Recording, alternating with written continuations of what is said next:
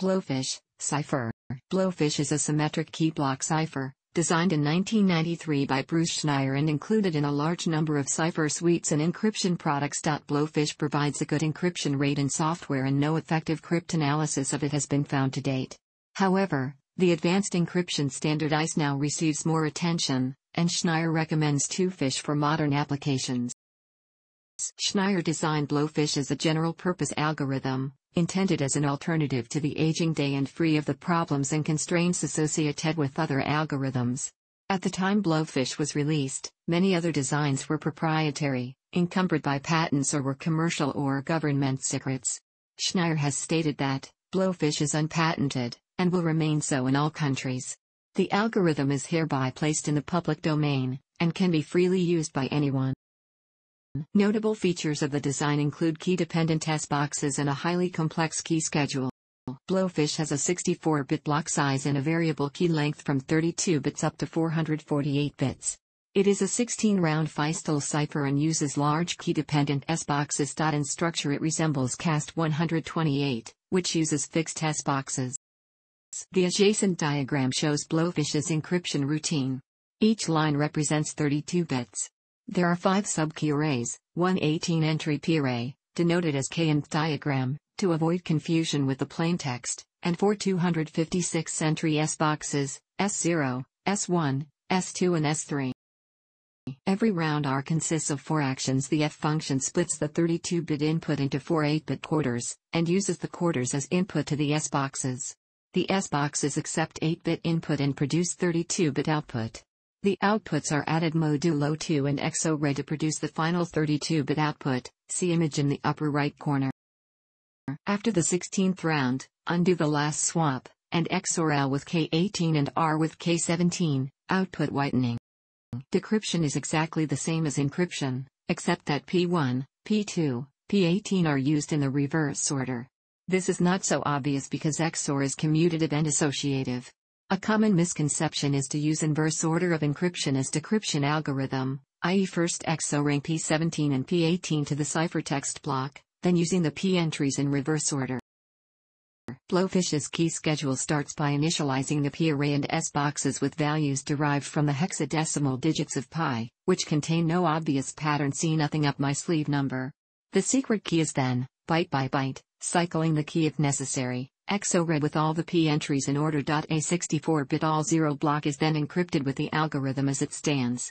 The resultant ciphertext replaces P and P.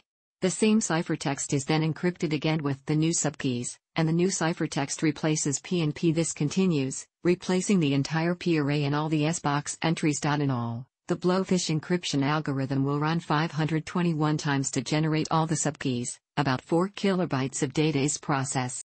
Because the P array is 576 bits long, and the key bytes are XORed through all these 576 bits during the initialization, many implementations support key sizes up to 576 bits. The reason for that is a discrepancy between the original Blowfish description, which uses 448-bit key, and its reference implementation, which uses 576-bit key. The test vectors for verifying third-party implementations were also produced with 576-bit keys. When asked which Blowfish version is the correct one, Bruce Schneier answered, the test vectors should be used to determine the one true Blowfish. Another opinion is that the 448 bits limit is here to ensure that every bit of every subkey depends on every bit of the key, as the last four values of the P array don't affect every bit of the ciphertext.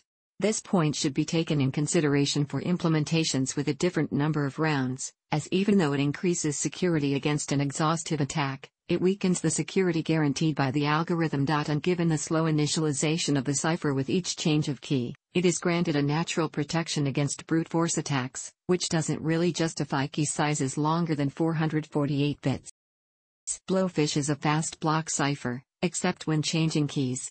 Each new key requires pre-processing equivalent to encrypting about 4 kilobytes of text, which is very slow compared to other block ciphers. This prevents its use in certain applications, but is not a problem in others. In one application Blowfish's slow key changing is actually a benefit. The password hashing method used in OpenBSD uses an algorithm derived from Blowfish that makes use of the slow key schedule, The idea is that the extra computational effort required gives protection against dictionary attacks. See key stretching. Blowfish has a memory footprint of just over 4 kilobytes of RAM. This constraint is not a problem even for older desktop and laptop computers, though it does prevent use in the smallest embedded systems such as early smart cards. Blowfish was one of the first secure block ciphers not subject to any patents and therefore freely available for anyone to use. This benefit has contributed to its popularity in cryptographic software. bcrypt is a password hashing function which, combined with a variable number of iterations, work cost, exploits the expensive key setup phase of Blowfish to increase the workload and duration of hash calculations, further reducing threats from brute force attacks. Crypt is also the name of a cross-platform file encryption utility implementing Blowfish developed in 2002. Blowfish's use of a 64-bit block size, as opposed to for example AES's 128-bit block size, makes it vulnerable to birthday attacks, particularly in contexts like HTTPS. In 2016, the Sweet32 attack demonstrated how to leverage birthday attacks to perform plaintext recovery, i.e. decrypting ciphertext, against ciphers with a 64-bit block size. The GnuPG project recommends that Blowfish not be used to encrypt files larger than 4 GB due to its small block size. A reduced round variant of Blowfish is known to be susceptible to known plaintext attacks on reflectively weak keys. Blowfish implementations use 16 rounds of encryption, and are not susceptible to this attack. Nevertheless, Bruce Schneier has recommended migrating to a Blowfish successor, Twofish.